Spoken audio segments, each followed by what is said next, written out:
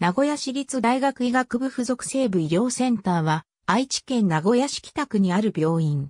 名古屋市立城北病院を母体とし名古屋市立城西病院の一部を組み入れ、2011年5月に現在地に名古屋市立西部医療センターとして新築移転し開院した。愛称は城北であった。地域周産規模市医療センターや赤ちゃんに優しい病院などの認定を受けている。2021年4月に名古屋市立東部医療センターとともに名古屋市立大学に関され、同大学の付属病院となる。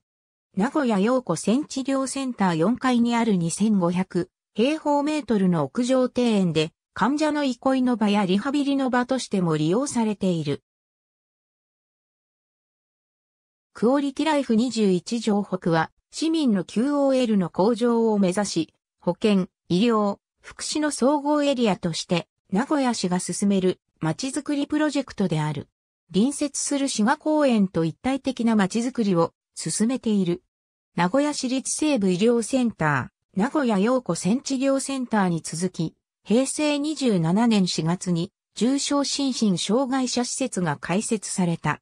名古屋市立城北病院は名古屋市北区金田町2丁目15番地に存在した病院で、前述のように、名古屋市立西部医療センターの前身の病院にあたる。本館及び西館で構成され、病床数は251床であった。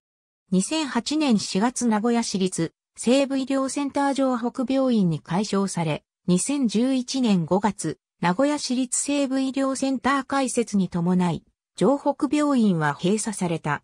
2014年1月までの予定で、旧病院の解体工事が行われ、一部は公園として整備された。